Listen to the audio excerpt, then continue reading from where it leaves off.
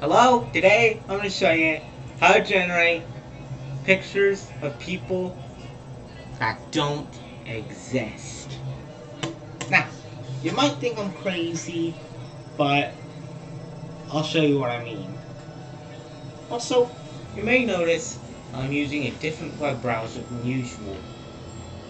This is actually my secondary web browser for websites that, let's just say, are blocked on this one, Microsoft Edge.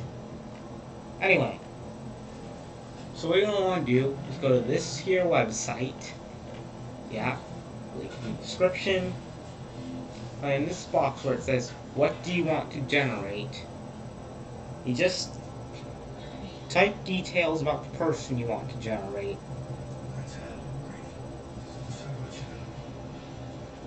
Age, gender, ethnicity, etc. The more details, the better.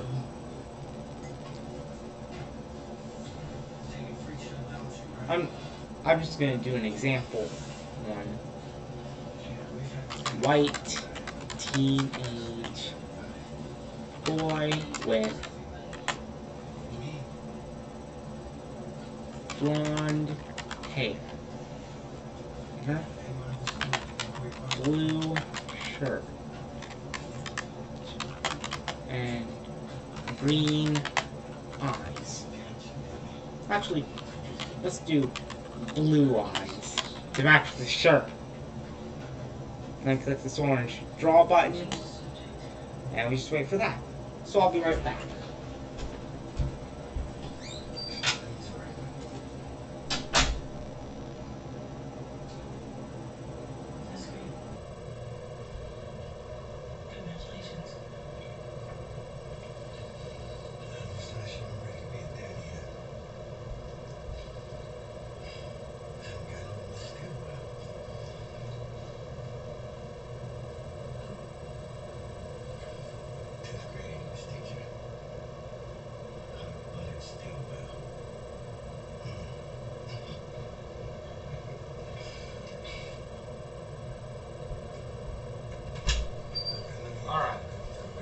Still loading.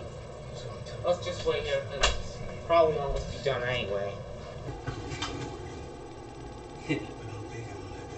well, here we go. We have tons of these, and you can pick out any which one you want. I'm going to choose this one. See, there you go. Now you have a picture of a person that doesn't exist. Yeah.